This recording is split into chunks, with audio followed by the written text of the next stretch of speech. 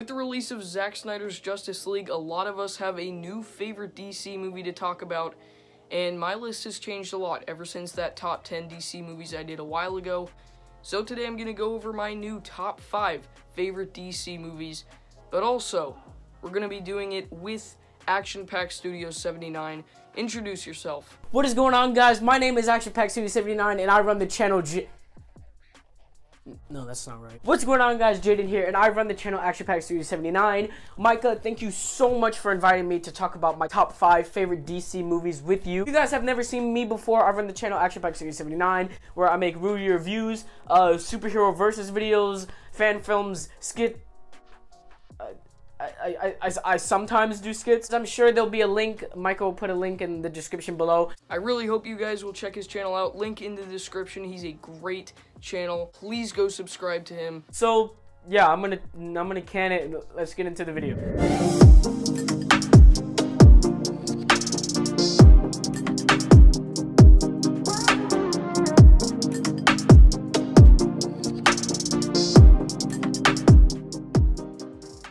Now, starting off the list for me is going to be Shazam. So coming in at number five for me is Shazam. This was definitely the first DCEU film that I loved. Now, Shazam is one of DC's more lesser known, smaller heroes, but he's not on the same level as as Polka Dot Man or Calendar Man. He's still an iconic hero, but at the same time, he's not a, a, a super, super iconic hero. So that makes for this being a really brave pick. I mean, this was the time where we had gotten Wonder Woman, Aquaman, uh, Suicide Squad, Batman vs. Superman, and then all of a sudden we get Shazam, and we're like, is this gonna bomb? Or is this gonna be really good? Before I watched it, I felt like every DC movie just wasted character. They never had good development. The characters weren't even, they didn't really have a reason to root for the heroes until this. I mean, just seeing like what these kids would do if they had superpowers, it's just such a great concept and the way they use it, it's great execution, it's very funny. It's maybe the funniest DC movie out there. It definitely brings more heart to the DCEU where you got little kids like this who just see these characters as idols and I think that that's something really good that they needed to bring into the DCEU to flesh it out more. Now I'm not saying that the other films don't have heart because they really do. Like the new Justice League movie and Wonder Woman definitely have the most heart out of all of them. But it's good to always have a bit more to the point where everything isn't always so dark and gloomy there are definitely issues that you can point out, but for me, they don't really bother me. I think this was kind of the film where they wanted to be Marvel, and like, this does feel sort of like a Marvel movie. It's really funny but the characters are great. It's very much like a Marvel movie, and that's what I think was so brave for the DCEU to put this out and make it part of the DCEU instead of it being in like its own smaller universe. I think this movie is hilarious. Zachary Levi does a perfect job at pulling off this character. I cannot see anybody else playing Shazam. He does such a good job at portraying this sort of man-child, and I think that's great, and that's also an opportunity to make a lot of incredible jokes, and and they all land. That's the big difference with this one. You want to root for these characters, unlike every other film from before that. So Shazam is my number five. All right, next place is gonna be Batman vs Superman Ultimate Edition. This is a masterpiece. I love everything from from from the comic book references to to the whole Batman vs Superman, the whole fight scene just being basically ripped out of the Dark Knight Returns, the whole um, Batman on the on the building when the lightning strikes, the, the Dark Knight Returns freaking cover.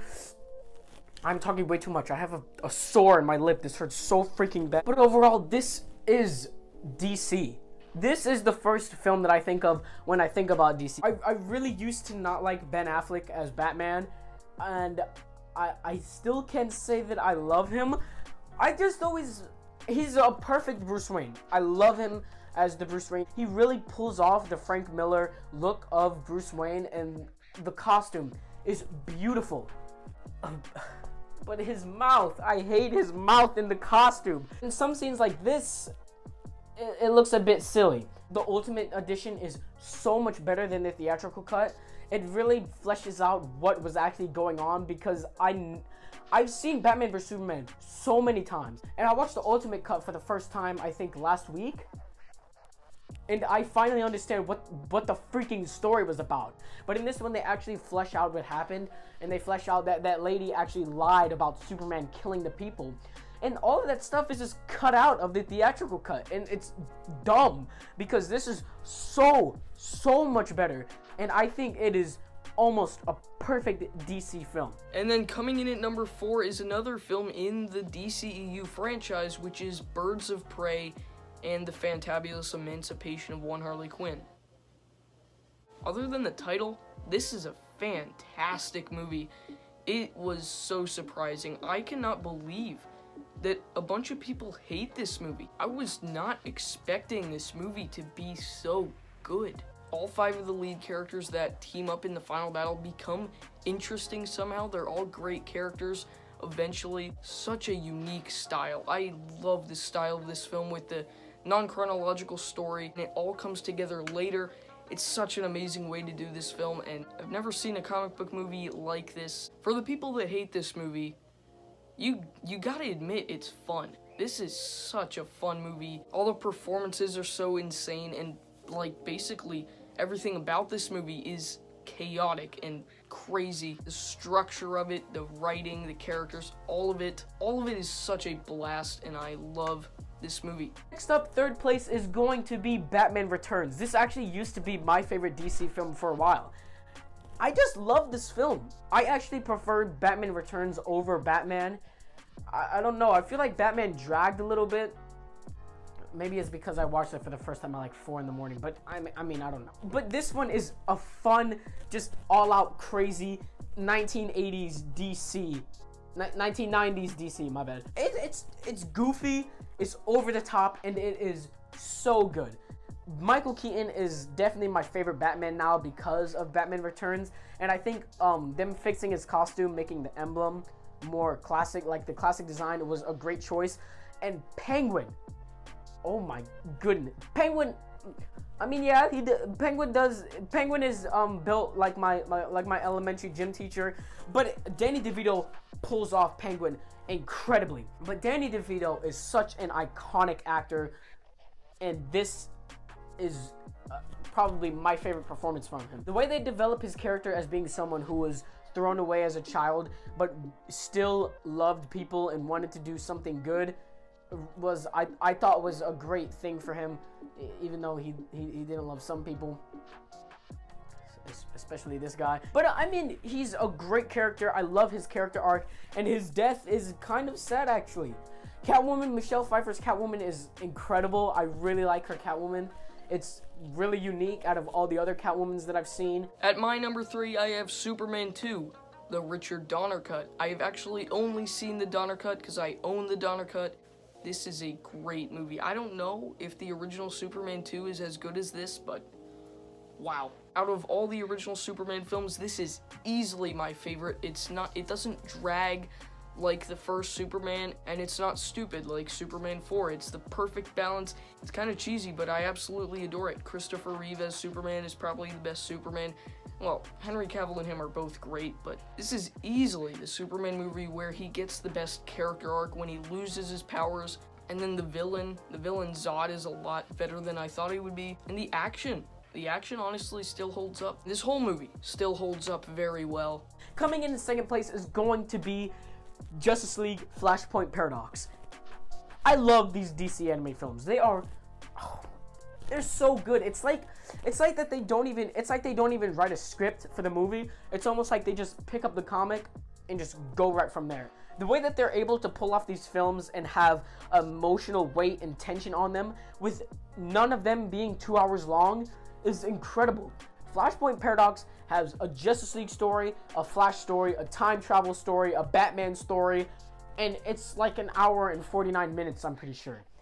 It's perfect. It is my favorite cartoon. It's it's my favorite DC film from this cartoon era, the anime era, and it's just it's incredible and I really cannot wait to see how they pull it off with Ezra Miller because this was just so mind blowing. And the climax at the end of the film is DC perfection. I mean, you got freaking Wonder Woman killing children. You got Aquaman getting his, his whole freaking arm cut off. You got Cyborg getting his heart ripped out of his chest. when will you ever see Marvel doing crap like this? It's it's so good. And I love the whole scene at the end with Barry traveling back in time, having to go to stop his past self from saving his mother. And the emotional weight on that is a pretty good weight. It's really good. This is a close to perfect DC film. Coming in at number two is Joker. I think this is the best origin. I do love Captain America the First Avenger, and that's a fantastic origin. But Joker as an origin for a villain, this is an incredible film. It is very disturbing as you go later into the film and you see Arthur become the Joker. Before this, we had never seen who Joker was before this, we'd never seen who the Joker was as a human before he turned into the Joker, and it's it's really creepy to see the transition into that. I don't really get the controversy about this movie. I think it's fantastic. And Joaquin Phoenix is the best Joker for me. His performance is one of the best ever, honestly. Because when he's trying to cry, but he's laughing instead because of his condition, you just feel so uncomfortable sitting there. Might be the best DC movie, but it's not quite my favorite. You might know what it is. But the most perfect DC film that I have seen is easily Justice League 2017. I know a lot of people hate on this film, and I don't, I never really understood the hate around it. I think the jokes land. I think all the performances are great. Henry Cavill's mustache isn't really that noticeable in most scenes, and Steppenwolf is a great villain. Did you, did you think I was serious? Easily coming in in number one is Zack Snyder's Justice League. What do I even have to say? Homeboy literally made a four hour long movie, and I was out there begging for more. Like, I, I want a six hour Zack Snyder Justice League movie. Justice League 2017 is my least favorite film of all time. So, who knew that a four hour version of it would be my favorite DC movie? Such a fantastic superhero team up film, and DC has finally done it. This is what I've always wanted DC to do. After Marvel pulled off every Avengers movie, finally, finally DC has this great little universe of Zack Snyder films that connects to Wonder Woman. This is a perfect DC film, and if you haven't seen it, what are you doing? Cyborg and Flash are my favorite characters in this film. The, uh, the whole ending scene with Flash was just definitely one, one of the, one of the best comic book sequences I have ever seen. And the fact that Joss Whedon wanted to have him push a Russian family in a truck. Other beside, I can't I can't even form a sentence because I'm so stupidified.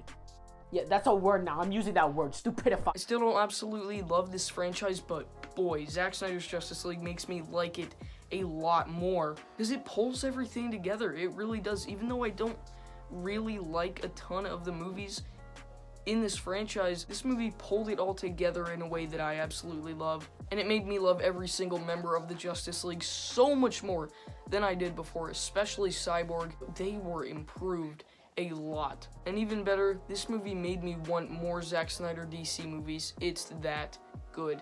This film is perfection. And if you're kind of skeptical about it because you just never want to watch another DC film after this monstrosity, I, don't blame you. I really was kind of scared about it because I rewatched Justice League 2017 before watching this new one, and I was like, oh, how, how, how is that gonna fix this? And he delivered. He delivered. But anyway, yeah, Zack Snyder's Justice League is the best DC movie and now one of the best comic book films of all time. You should all check it out, even if you despised the original Justice League, because I did too, and now I adore this one. An achievement for DC. But yeah, guys, that is my top five list. Um, I'm, I'd love to hear you guys down in the comments below what you guys think about about the Justice League film, about your favorite DC films. Thank you to Jaden for coming on my channel, and I might be appearing on his channel at some point. We don't really know what it'll be yet, but that might happen, so Stay tuned. I really hope you guys will subscribe to him. And yeah, thank you so much, Micah, for having me on your channel. Uh, and yeah, I'll catch you guys next time. Thanks for watching. See you guys next time. Peace.